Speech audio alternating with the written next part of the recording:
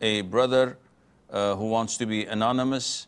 He says if a person touches his mother with the desire and lust while she's sleeping, and when he got to know about the ruling in Hanafi fiqh that his mother's and father's marriage will not be valid anymore, should he go to his parents and tell them that their marriage is void? Unfortunately, it seems that this issue is prevailing nowadays among a lot of the youth, a lot of the Muslims. And it is based on a concept known in some books of fiqh as Hurmatul Musahara, where the Hanafi school of thought made it prohibited for a person once indulged in any haram activity with a woman to get married to anyone else in her family that she is considered to be mahram to.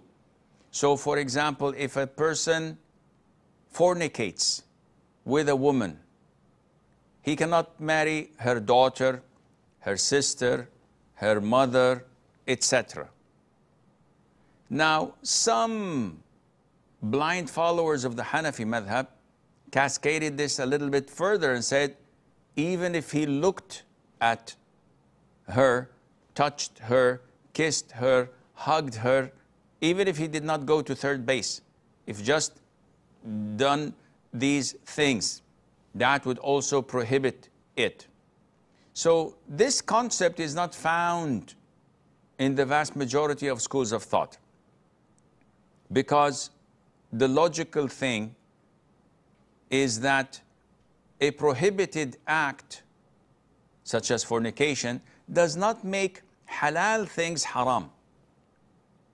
So if someone committed zina with a woman, what does this have an impact on upon him marrying her sister? Or even her daughter or her mother? Yes, the fornication bit is haram, but this does not prohibit any further.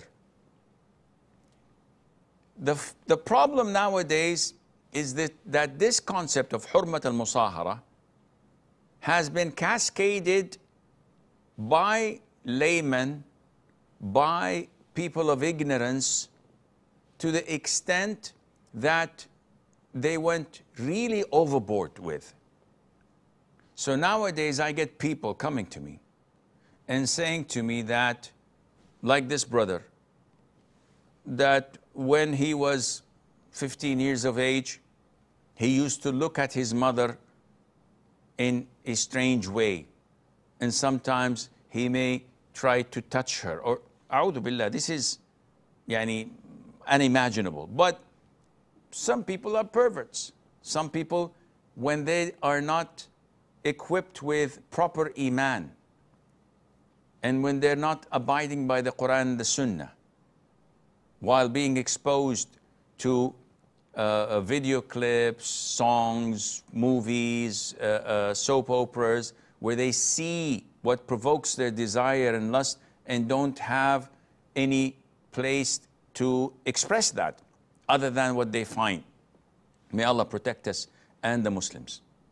So this man nowadays thinks that, oh, because I did this, my mother's and father's marriage is void, is broken due to hurmat al-musahara, which means that they are living in haram and all their children that resulted from the, this relationship are born out of wedlock.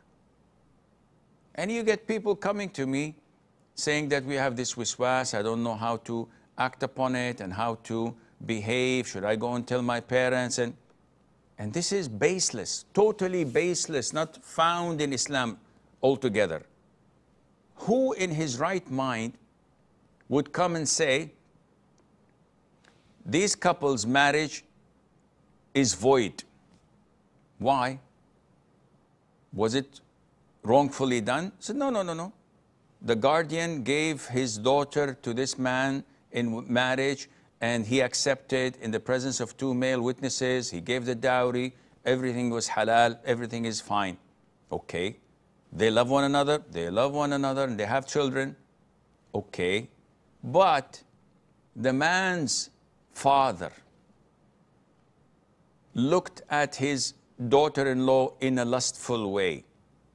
And once he was drunk, he tried to grope her, he, he tried to do inappropriate things to her.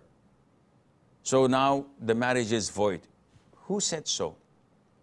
Why would we separate between two lawfully married couple who love one another because of a mistake that they had no hand in it? Doesn't make any sense. What, what religion states this? Islam has nothing to do with that. These are all forms of ignorance, whether blind following imams or scholars or whatever who don't know their heads from their feet and who just follow the books blindly without thinking whether it has traces of it in the Quran or in the Sunnah or it does not. So, in a nutshell, this concept of hurmat al-musahara does not exist. It is bogus. It is totally fabricated. Even if the father-in-law rapes his daughter-in-law, may Allah yani, protect us all. Hypothetically, the guy is drunk, the guy is nuts, the guy is whatever. Why would I separate between a man and his wife? Because of the sin and mistake of a lunatic. This is totally not true and not found.